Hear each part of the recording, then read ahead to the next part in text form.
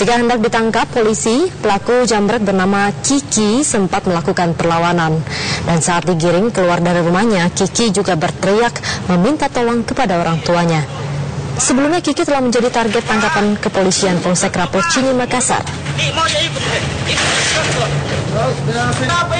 Pelaku dikenal sebagai residivis jambret sadis yang kerap melukai korbannya saat beraksi.